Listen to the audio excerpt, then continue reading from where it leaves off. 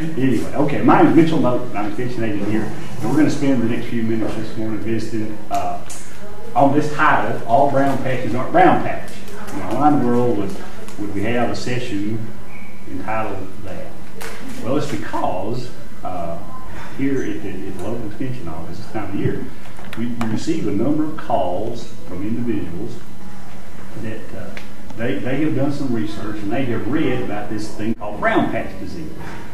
And they're going and they'll say, you know, my, my lawn has these brown patches in it. Places where grass is dying, I must have brown patch disease. Do you think that's it? Could you come and look at it? So, so we'll come and look at it, and, and, and very seldom is it brown patch disease. Uh, uh, in, in, in, so we're going to talk about that and how to tell the difference. So therefore, all brown patches aren't brown patch. So, some definitions from a turfgrass perspective, because we've got to be on the same page, we're going to need to be talking the same language here. So, what brown patch, okay, is a fungal disease that will attack multiple species of turf grasses. But by far and away, it is the most common disease problem on tall fescue here in our location.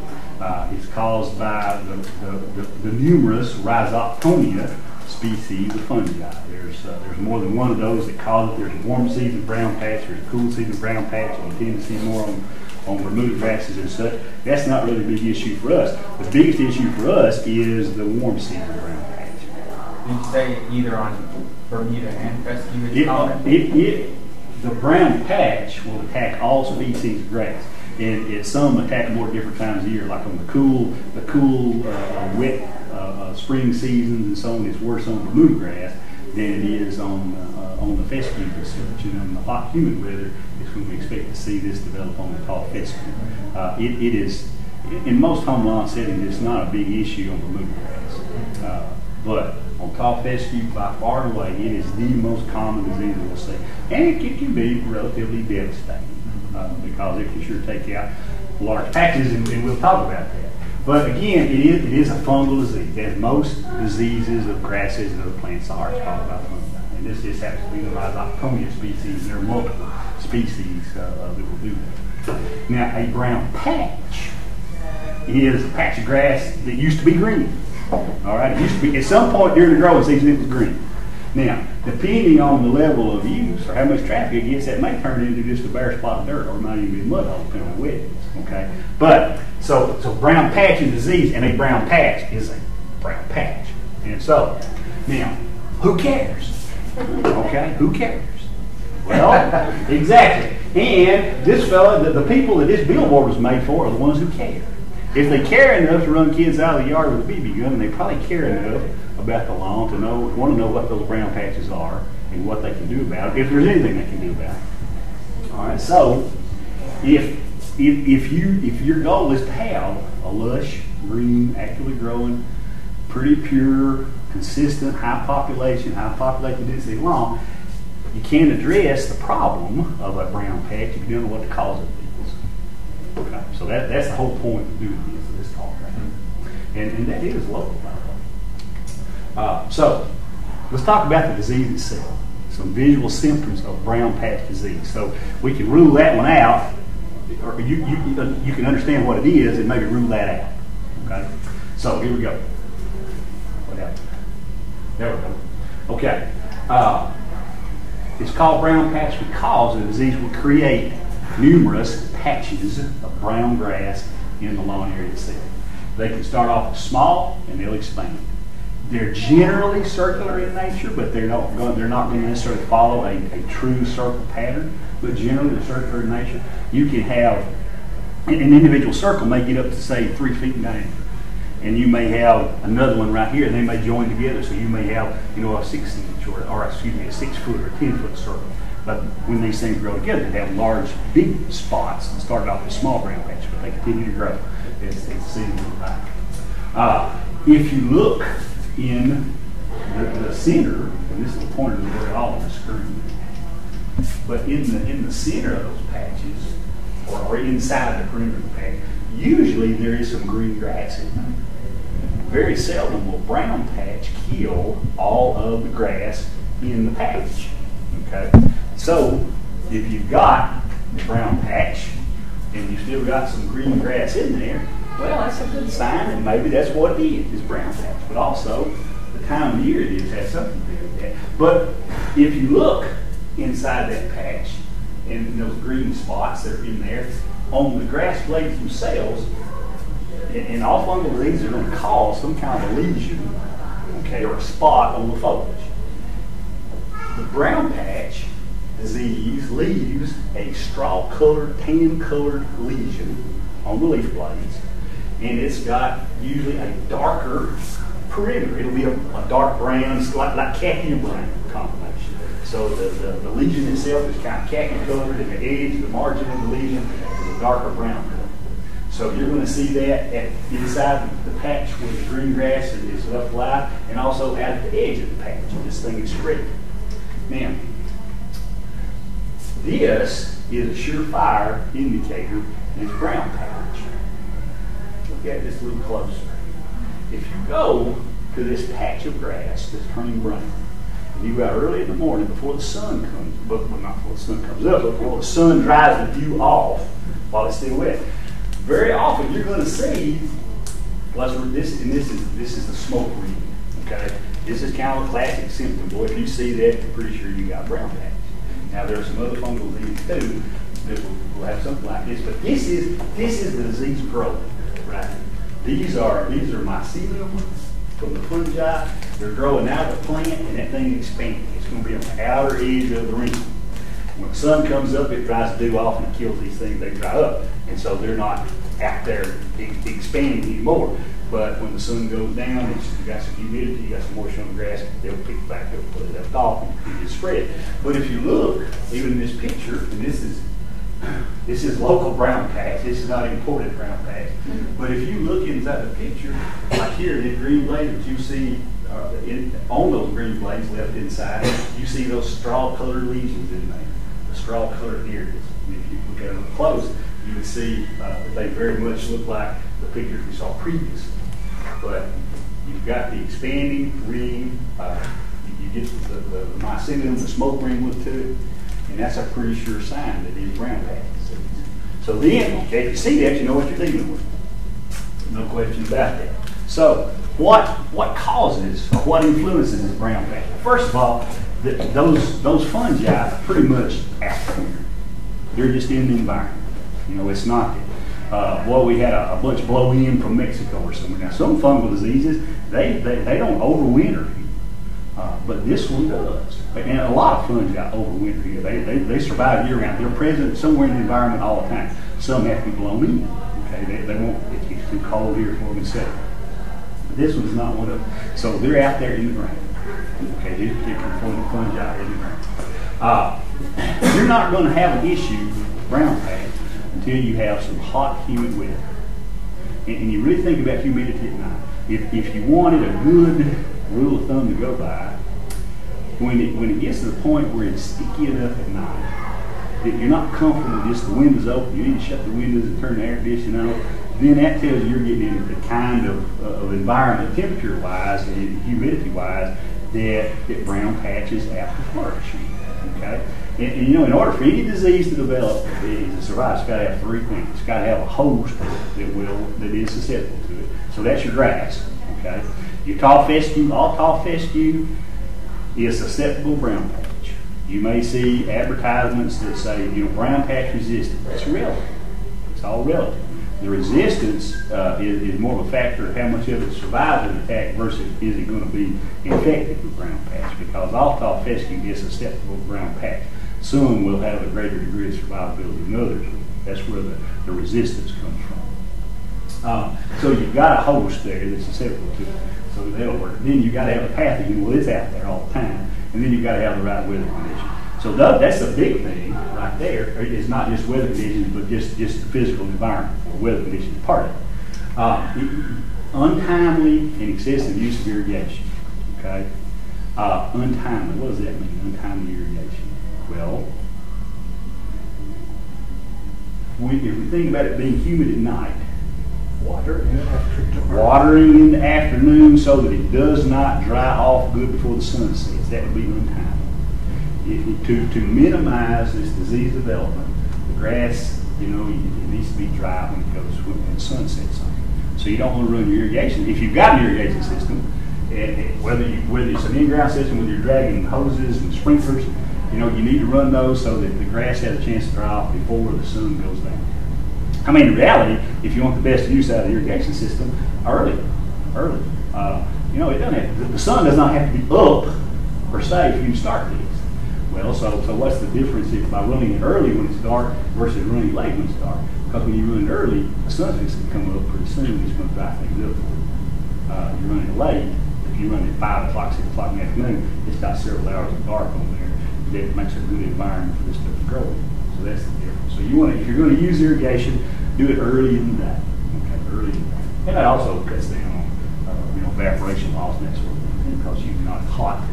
Uh, and, and very often, early in the morning, you won't have as much wind as you will uh, at later times in the day, and that can change your irrigation pattern, blow it off. So, so poor soil drainage. If you got soil that does not drain, anybody have clay soil? Have clay or soil here? Yeah, everybody stick their hand up, or don't worry, I'll do it for you. If you do, okay, you do. Um, that's good though, because it helps hold the world together. If it wasn't clay there, this thing would be falling apart. But if you get enough clay, it doesn't drain very well. And, and so it wants to hold moisture and it makes a good environment then for this for this fungi to live. Okay, so so poor soil drainage also influences the, the development of brown patch disease. Uh, some of these things we don't have any influence on. We can influence nat or we can influence irrigation. Soil drainage, can influence it some, okay? It's kind of questionable. It, to what degree we can influence. This one we can influence. Excessive nitrogen fertilization late spring and summer. If you've got a cool season grass, if it's a tall fescue, or if it's a, a, a tall fescue blend, if it's a tall fescue mixture, you've got tall fescue, maybe a little bluegrass, maybe a little perennial ryegrass in there. I reckon our University of Tennessee recommendation is you don't add nitrogen, you don't use nitrogen to feed that grass after the middle of April. Okay, that's the latest you can do it in the spring. And we don't suggest you use a lot of nitrogen in the spring period on those grasses because it, it, it's, it, it's, uh, it, it's kind of, uh, uh, uh, uh well, I hate to know, you know, the words just leave me. But it, it, it's a catch-22 sort of thing. You want the grass to be strong and healthy so you can fertilize the field. Well, brown patch and, and most diseases don't affect poor, slow-growing grasses and poor quality. They affect the, the lush, dense, high-quality grasses because they make a better environment. Uh, you think about that grass growing really, really fast. Okay, lush growth, dense growth you, you have less air movement through there, so you create kind of a micro environment, microclimate down there. It's really, really better suited than those thin populations of grass, got more air movement through them and so on. So, we don't suggest that you apply nitrogen anytime after the middle of April. And throughout the course of the spring, unless, you know, the spring, uh, uh, we're going to say start sometime in March, and not necessarily by the calendar, but by the season, by the way when the grass starts to grow. We don't suggest that you apply more than a pound of nitrogen per thousand square feet for the whole spring period. So from the time that grass starts growing uh, all the way through the spring into the summer, we don't suggest you apply more than a pound of actual nitrogen per thousand square feet. That's not a pound of fertilizer, that's a pound of nitrogen. Okay? Yes, sir. Is that the same for Bermuda too? Bermuda is a totally different season. And, and it's not going to really start growing until probably you get up into April. And and, and our, our point here is to fertilize the grass when it can best utilize. So since Bermuda grass is a hot season grass, a warm season grass, we're going to do the fertilization on it roughly around begin the middle of April and about every six weeks up until the first of September. So it's it's kind of the opposite fertilization schedule Opposite. I mean, of tall fescue. Because on tall fescue uh, and those other cool season grasses, you know, cool season grass grows in cool weather, spring and summer. Hot season grass grows in, in, the, in the summer. In the wintertime, it's going. So, if, if you were what's if you if your goal is to have what's what, what, what the soil now refers to as, as high quality or highest quality, then we're gonna you're gonna do three fourths of your fertilization on cool season grass September one, October fifteenth, November fifteenth. That's kind of rough. So you're to do three-fourths of that fertilization in the late summer, fall time period. Very little of it in the spring then. On the Bermuda grass, zoysia grass, centipede, well, not so much centipede because it's fertilizer. But Bermuda zoysia grass, just the opposite of that. You're going to do, we're talking roughly the same amount of nutrients on both types of grass. But we're going to do April, June, July, and, and by the first September. We'd like to be finished with it because it's going to start going to sleep. It needs a chance to transition out and get into its dormancy. Mm-hmm. So, I- and, I said, you know, we don't recommend more than a pound of nitrogen per thousand square feet total in the spring of the year. That's not a pound of fertilizer, that's a pound of the nutrient. So depending on what you use for fertilizer, it, that influences how many pounds that is. For example, if you use, and, and there are uh, nitrogen only fertilizers, the, a common one is a 3300. Okay, all it has nitrogen. Well, that takes three pounds of that fertilizer to yield a pound of nitrogen. If you had a, a, a 20 zero zero or 20 whatever, but, but nitrogen is first number, so 20 in that case represents nitrogen. Well, it would take five pounds of that. Okay, if it were triple 13, and that's that's a, and the numbers represent nitrogen, phosphorus, and potassium in that order. Okay, always in that order, nitrogen, phosphorus, and potassium. The numbers are percentages. That's what they are. So if it were triple 13, to get a pound of nitrogen, you're talking about seven and a half pounds of fertilizer, something like that, less than eight pounds, between seven and eight pounds of fertilizer, give you a pound of the nutrient itself. So when we say a pound of nitrogen, we're talking nutrient, not fertilizer, and the pounds of fertilizer will vary depending on what you use as a fertilizer. So we can control, out of those factors that influence brown patch development, we can, we can control one of them, and we can control two of them for sure. We can have a little bit of influence on soil drainage. We'll. Well, what about treatments? If you have brown patch, if you do have it, is there anything you can do about it? Well, yes. Yes, there are. Yes, there are. Now, if it's a fungal disease, what's the medicine for a fungal disease? A fungicide. Okay, fungicide. All right. Here's an example of one. This is, the brand names, boy, brand names are just, that's what they are, brand names. There are lots of different brand names, and they'll all, there's only so many things out there, so many compounds they can use. This one, and you look under active ingredients, this one has active ingredient propiconazole. Okay. You'll, another common one is chlorothalonil. Uh, another common one is myclobutanil. But but all of them will say on here prevents and stops. This one says it prevents and stops major disease on roses, flowers, lawns, trees, and shrubs.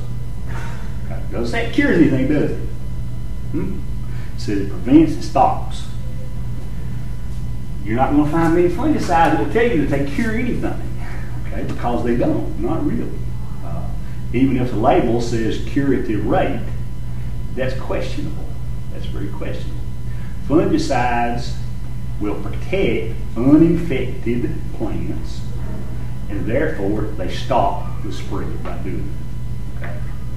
So when it says prevents and stops, if, if, if, if a plant is protected with a fungicide, then you have prevented it from becoming infected. And if you have treated infected areas, then the uninfected areas, you have stopped it from spreading to them. So that's what that means. Okay.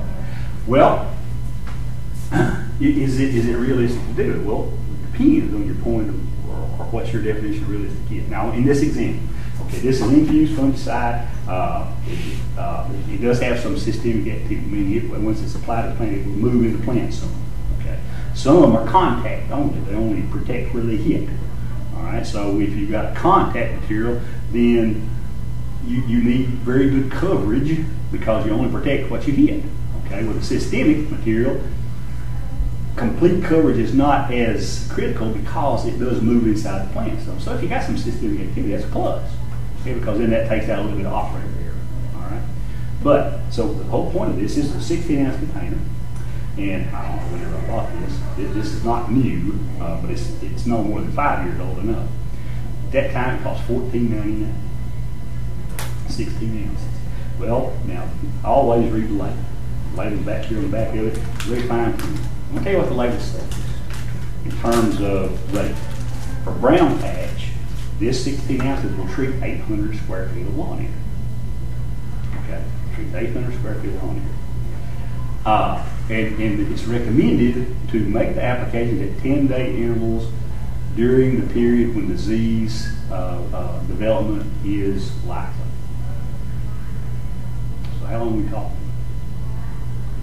Well, Most years, we're talking about sometime in May is when we normally start getting into weather conditions and physical conditions, environmental conditions that will uh, support the development and growth of pasture. And then that can continue on up into August. So there are a lot of 10-day periods between whatever point in May and whatever point in August that this stuff shuts off. Now, if you have a real dry spell, or drought, you don't worry about it because it's not active and you don't have much moisture. If you have a cool snap, it's not active. Okay, it's got to be uh, above 68 degrees anyway at night usually for this to be an issue. Okay, so from a cost standpoint, this, this is $1.87, uh, excuse me, it's $18.73 per thousand square feet. That's what it costs. So for a 10,000 square foot lawn, that's not a huge lawn, but 10,000 square foot lawn, it's $187 to treat one time. Now we're talking about at 10 day intervals. Well, in a month, you know, in a month, theoretically, you could have uh, three times at, at nearly $200 a pop. So it gets, that's why, that's why if you, if you, if you use a lawn service, okay, now they, they generally always, the lawn service will include as part of their packages or as part of their basic, their standard package, it's going to include fertilization, it's going to include weed control. It may even include insect control. But very, very seldom, I don't know if any of you'll ever see a standard package that includes disease control. Because disease control is Now, there are products that will last a little longer. It may give you up to 21 days. But that's still not a super long period. But the point is, fungicide treatments are expensive.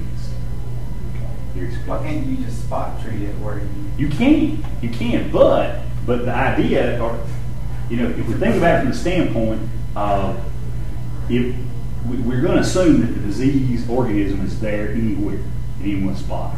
So if it starts developing here, so we go over here, so we got a spot here, so we treat five feet around that spot. Okay, we protected that, but then it pops up over here, so then we start running around. You, you, absolutely, you can do that. Is it effective? I don't know. Maybe, maybe not. Uh, now, the one thing is for sure is we don't have to do anything because usually tall fescue seed is cheaper than fungicide. And so when you get in the fall of the year, that's when we think about doing some annual overseeding anyway to picking up those thinned out areas. Something else we can do is minimize those favorable disease conditions.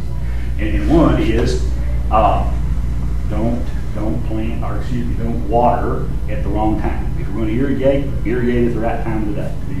Uh, we, we don't fertilize after uh, the middle of April in school season grasses.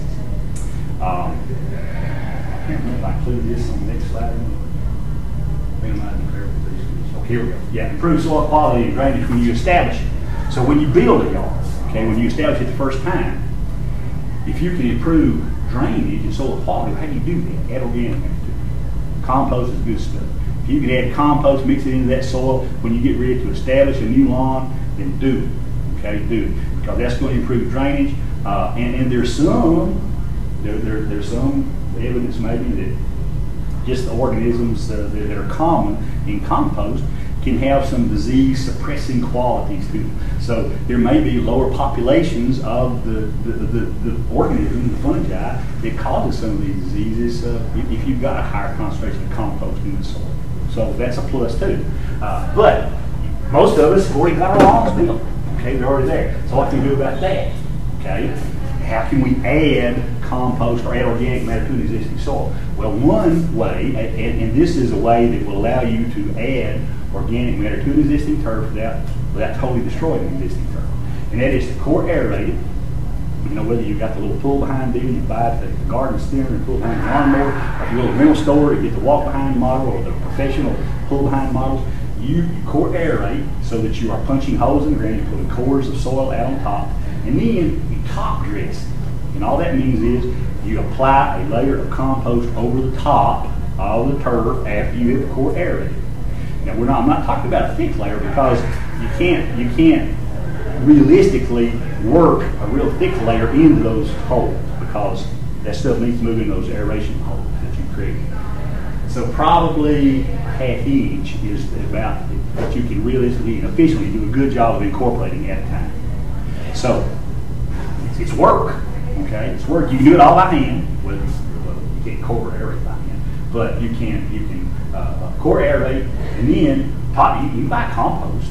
Just, just compost is good material. It's good material. Uh, you can buy it in bulk. Uh, most garden centers, for example, the uh, the mulch company just down the street at Park Drive, and sell a lot of mulch. They sell compost. You can buy a pick a load of compost.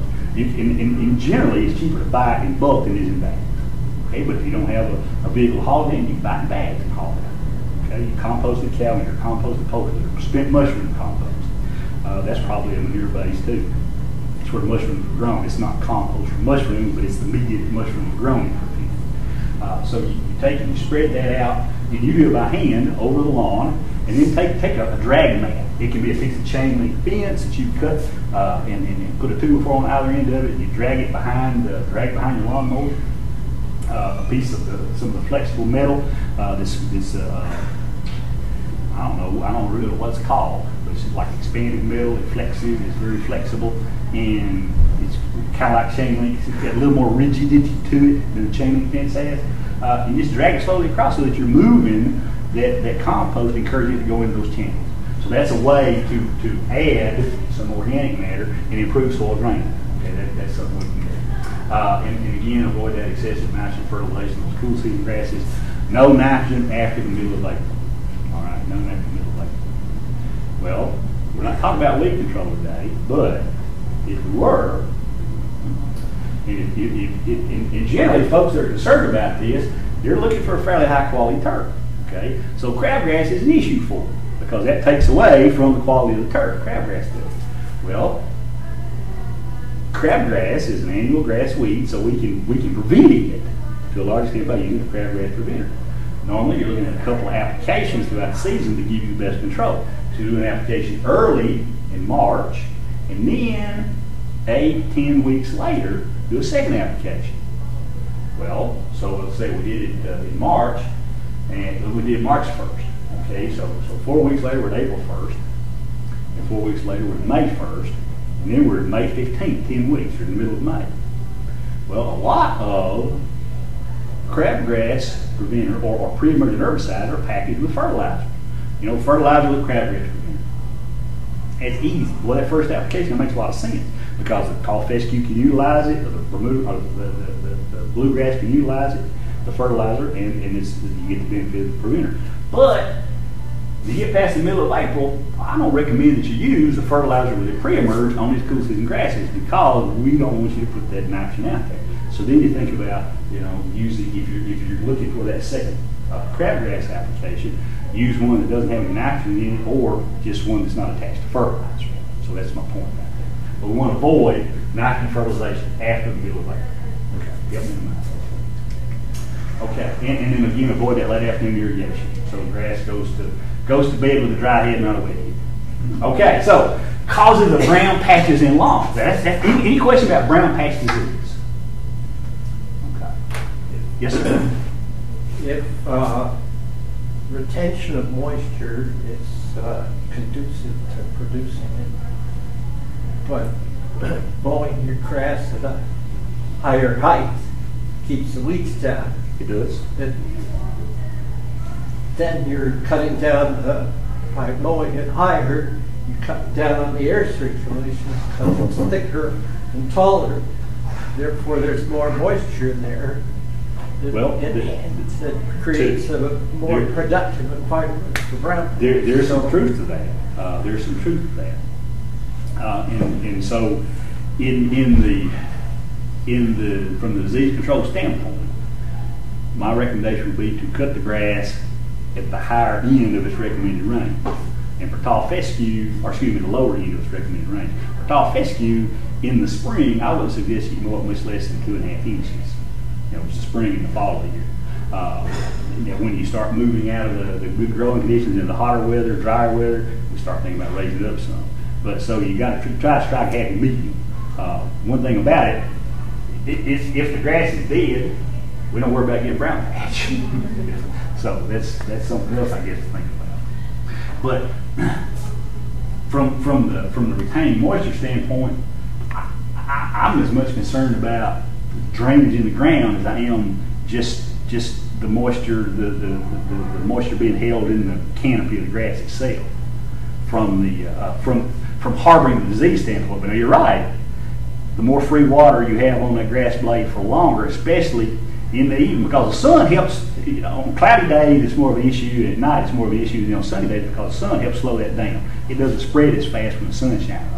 That's why the, the, the, sun in the morning burns the, the mycelium off those smoke See. Okay, but uh, other than the disease itself, okay. Uh, boy, there's a common one. Okay, why? What is that deal? Shallow soil. Okay, septic tanks. Why does the grass grow in septic tanks? Because you've got a shallow layer of soil. Grass will grow in septic tanks up to a point, and then when it dries out, it dies because there's just not enough. How much soil does it take to, to maintain a stand of grass? Well, if you don't have six inches, and I'm not saying six inches is enough, it's not. It's not the. It, it's not. I'd like to have more, but if you don't have at least six inches, you're going to be hard pressed to maintain with any kind of consistency a good stand of grass. Stuff. If everything else is in, in, in, if everything else is perfect, yeah, maybe so, maybe so. But six inches is about the minimum. Okay, that's about the minimum. Uh, you think about a tall cup versus shallow cup. You know, that tall cup will hold more water than, than, a, than a short cup will. Well, a, a, deep soil will hold more water than a shallow soil. We talk about grass needing somewhere in the neighborhood of an inch of water per week, which is equates out to 600 some odd gallons per thousand square feet. Does that mean it's got to rain that much on it? You got to irrigate that much on it? No, that means it has to have access. The plant has to have access to that much water.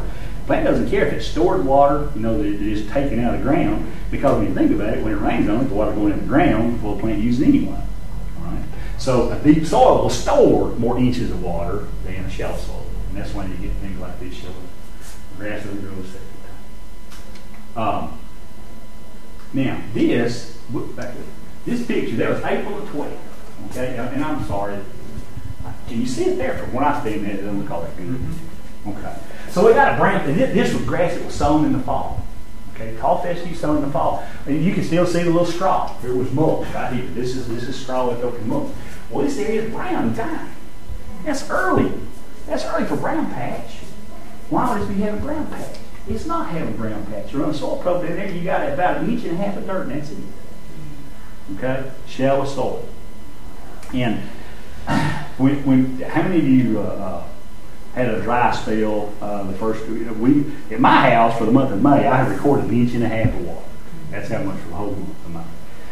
So until what was it, Friday the fifteenth of May? I mean, we'd gone three solid weeks without a drop and we kind of got hot. We've been up, you know, pushing 90 degrees. So, well, I was. Uh, it was getting to the point where I could start seeing my rocks work.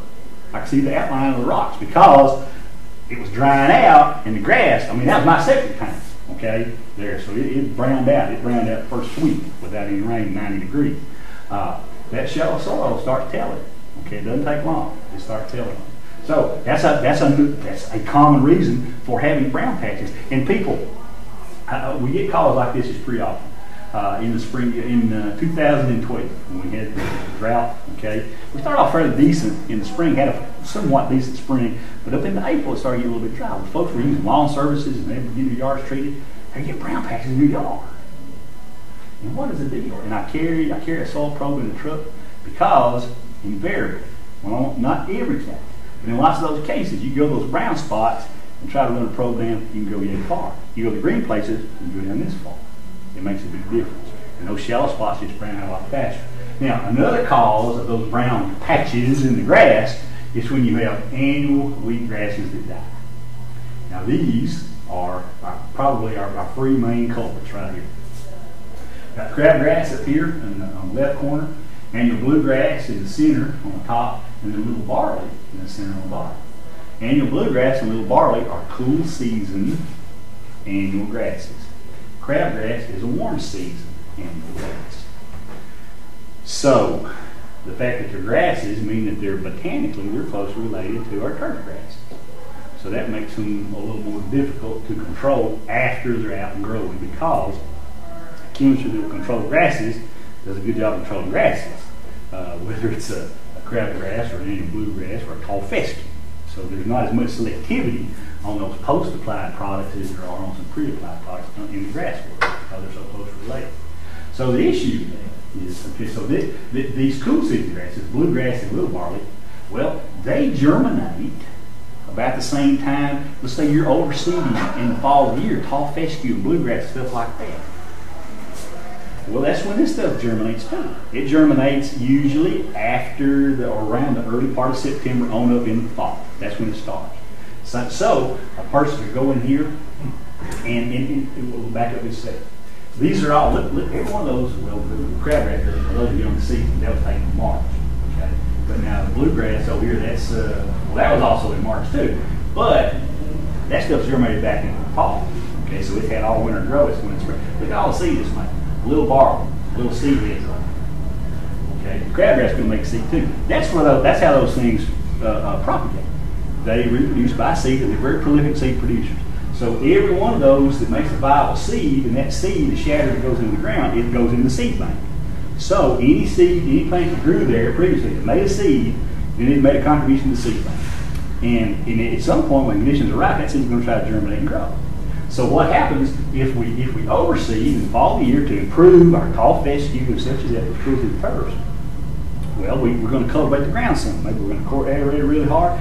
Maybe we're going to dethatch. Maybe we're going to slit seed. But we're still disturbing the soil. Well, disturbing the soil sometimes improves conditions for these weed seeds to germinate too. So what can happen is we sow our tall fescue. We, we, we do our cultivation. We sow our tall fescue, and grass starts germinating. Well, it looks pretty good. Looks pretty good. Annual bluegrass and tall fescue season, you can't tell much difference in a little bitty.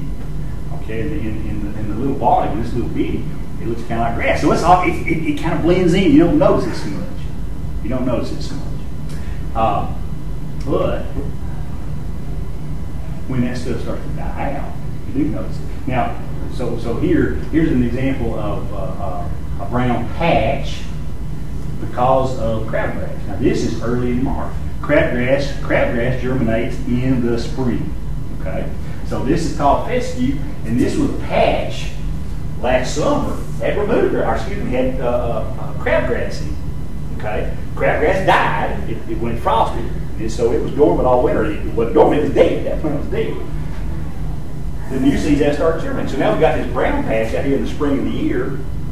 It was caused by crabgrass that grew there before, and, and because the crabgrass was there, it outcompeted, choked out the other grasses. So we've got a brown patch created by the, the, the, the, death of the weed grass. All right. And we don't do anything to it, it's going to come on, grow back in, okay, we're, it'll probably spread some more, and we're going to have a bunch of crabgrass when it's all said and done. Uh, and here, this this picture mid-May. This this is Little Barley, okay, kind of an overview. Now this is this is actually in some removed grass. But take a close look, there's that little barley. It, it, oh, it's a winter annual, so winter annuals die in the late spring. They have to, they have a choice. They start turning brown. Every patch where you got a, a high concentration of little barley, it's just, ooh, it's brown. Brown. Remove grass grew up pretty good. That stuff is brown.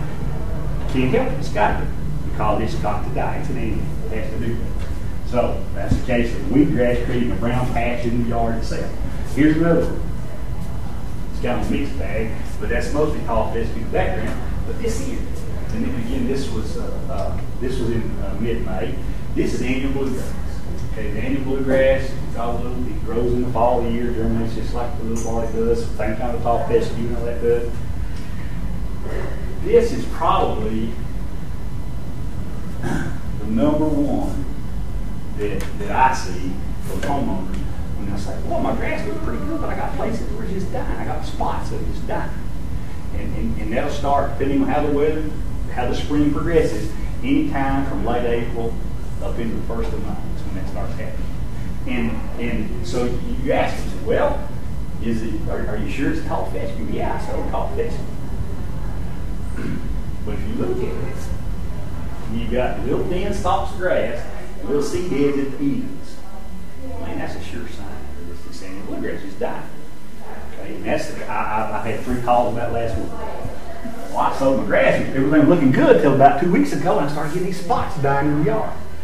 Go look at them close. Do you see little seed heads at the ends of the brown grasses? Yes. It's, it's annual bluegrass dying. Okay, annual bluegrass. Um, Can, can we do anything about those? Well, you can. Okay, you can. All right. Annuals can be prevented okay, by the use of a pre-emerge. But there's a rub there. There's a rub. If, if it's in a cool season grass, they germinate at the same time that you think about sowing those cool season grasses. So you have a conundrum because the, the pre-emerge can't tell the difference between a weed seed uh, or a good grass seed and a bad grass seed. So you cannot you cannot prevent annual bluegrass and sow tall fescue at the same time. So so you're running a problem there. Now, one thing that a person might want to do in a case like that now, if you have a mood grass, you got other options because there, there, there's chemistry that you can use to control outbreaks of annual bluegrass on mood grass. You don't have that same option doing on tall fescue tall fescue is not a pollen. Uh, what a person might think about doing is do their uh, uh, do their don't don't wait too late in the season to do overseeding on tall fescue such as that. Um, you know, the earlier in, in, in September is a good month to do it. It, it may, you know, it, it, may be a little dry in September. Um, well, that's okay. If, if you can irrigate a little bit, that's great. You help that grass come on up. But you get a better start on it, the uh, it, will have a chance to maybe outcompete and get some growth to it before you start getting as much of the little bluegrass to germinate. Because if you can shade the ground, that's a good weed control. If you can shade it with desirable grass, that's a good weed control. And think about where you saw, think about where you saw the, the bluegrass patches. You'll see bluegrass grow very well in shallow places where the ground is not very deep, grow in more compacted areas. So kind of remember where those spots are. And if, uh, when you when you sow the tall fescue in the fall year, you get up growing, kind of watch those places where you saw uh, the bluegrass in years past. Because chances are you're going to try to see it start to germinate and grow there. If you see some of it coming in, then you could use a grass product, you know, grass killer, uh, and kill the little patches and then repair those with seed if it's not too late in the fall. I mean, that's an option. You could also cut them out and put in squares of sod. Okay, that's another option too. But it is difficult. It is difficult to, to control emerged uh, weed grasses like annual bluegrass and little barley in tall fescue. Uh, there are some chemistries that are generally not available to homeowners that do show some some efficacy against those. But usually you're looking at using a lawn service to, to have to have access to. So it's not it's not total it's, it's not total uh, gloom and doom, but it's kind of gloom and doom. Never thought kind of gloom. Uh, other call now on grass, or excuse me, on crabgrass you could, uh, a good way to avoid that one is in the, in the fall year when you do your overseeding, you get a good stand of tall fescue where, where the crabgrass was, and that's going to help shade that and use, use your crabgrass preventer, and you could, that was a lot easier to keep it by. That was a lot easier. Okay, other areas or other causes of brown patches, use of grass is not suited to the environment. This is an example of, a pure standard perennial ryegrass planted in full sun. For, our environment, perennial ryegrass is not a good dependable perennial grass. It will not persist as a good dense stand grass when it's sown alone. Out in full sun, I mean, it just dies out. Okay, same thing will be true if you use a fine fescue, for example, creeping red fescue. It's got to have some shade on it to grow. Okay, so if you planted a very high population of grass, uh, or grass mix had a high population of creeping red fescue in in full sun areas, that creeping red is not going to survive out there. It'll germinate, sow it fall year, it'll germinate grow well until we start getting into this time period. It starts to suffer. So that's another cause for it. Um, well, there's one that, that unfortunately occurs uh, uh, way too frequently, and that's just drought. Okay, drought stress. Now, looking at those, you got you got brown here, you got green. That's a good example of how much difference there is in soil health. Because you can just about bet that you are have a shallower soil here than you have right back there. And the same thing uh, on this one back here. In these areas, that ground is more shallow right there. Now, how is that? Well, uh, in homes, you know, there's sometimes a lot of grading work is done, dirt's hauled away, and then the other dirt is brought back in. And you get construction debris buried around out there, bricks and blocks. And a fella uh, it's, uh, uh, I'm not gonna call his name, since there's more than one, I will say his name, the company, the Turf Dog. He told, and, and so he's in, he's in the lawn care business. Uh, he moved here, I don't know, sometime back in the early two thousands from somewhere, and in the spring of the year, the grass looked really good his house, he bought the house, and then it got a little dry, and he started seeing this square. But it wasn't, it wasn't a rectangle like a septic tank, it was just a square. What in the world? They got to digging around down there, and there was a whole pallet of bricks. A whole pallet of bricks that they had buried there. Yeah. I mean, that's that's a lot of bricks. They had to dig a good hole to bury that. Now, why would somebody do that? I don't know. But the point is, you never know what's out there. You never know. There are some diseases that are not brown patch that will kill everything. And this is a this is called pythium. And pythium is a water mold. Okay. And and, and, and, and look, look at that shape. Does that look like maybe?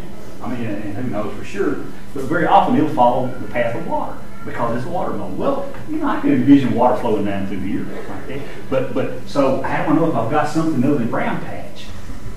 Brown patch usually does not kill everything in the patch. Pythium kills it all. Kills it all. There's another one called take all patch. Kills it all. Okay, you don't have any green tissue left in there whatsoever.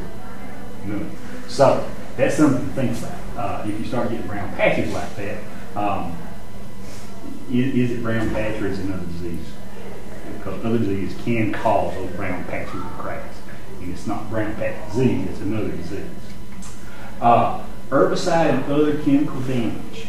Now that, that that's a wide, that's, that's a pretty broad category. Herbicide, okay, why would you have this? Is Roundup. Okay, somebody round up that. Well, why would they do that? Okay, well, let's say you've got tall fescue or tall fescue bluegrass or tall fescue bluegrass ryegrass. And you get patches of dallisgrass. That's a warm season broadleaf weed grass. It grows same time of year as crabgrass does, but it's like Bermuda grass. It's a perennial. It comes back from the same root mass every year. And perennial weeds are much more difficult to control than annual weeds are. Pre-emergence don't have any impact on this dallisgrass because it's going to go back from that same root every year, just like Bermuda grass does. And, and there, there, there are convoluted processes that an individual can follow and, and, and procedures and protocols to suppress the, the dallisgrass without necessarily killing your blue, your, your, tall fescue and such. But life's a lot simpler. Just to mix up some glyphosate, which is what Roundup is, and go spray those spots. And then in the fall of the year, do your overseed.